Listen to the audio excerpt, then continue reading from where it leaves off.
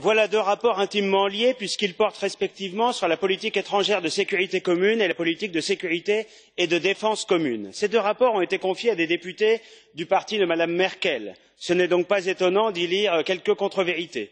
Ainsi, l'un des rapporteurs ose dire, par exemple, que la Russie empêcherait la résolution du conflit en Syrie, puis, au paragraphe suivant, que la priorité serait, je cite, de consolider pour les migrants une voie légale et sûre d'accès à l'Europe.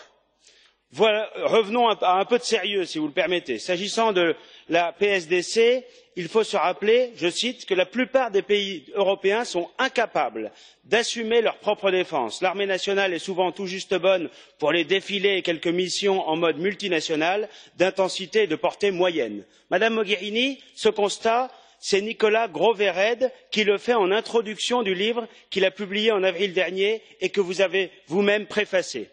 Si les armées de nos différents pays s'apparentent de plus en plus à des tigres de papier, c'est d'abord parce que l'on a cessé de réduire les budgets de la défense, alors même que la Chine, l'Inde, l'Indonésie, mais aussi la Russie ou les États Unis augmentent leurs dépenses dans ce domaine, qui conditionne évidemment toute politique étrangère crédible. En deux mille seize, avec six cent soixante quatre milliards de dollars, le budget américain représente trois fois le budget de tous les Européens réunis.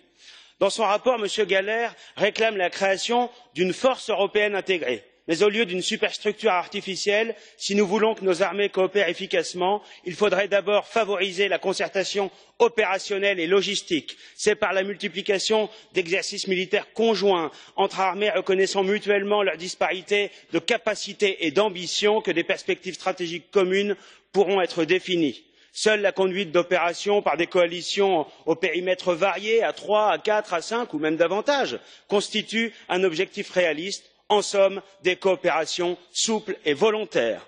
enfin à quoi sert il de faire de grands discours sur l'europe de la défense si c'est pour continuer à acheter du matériel américain?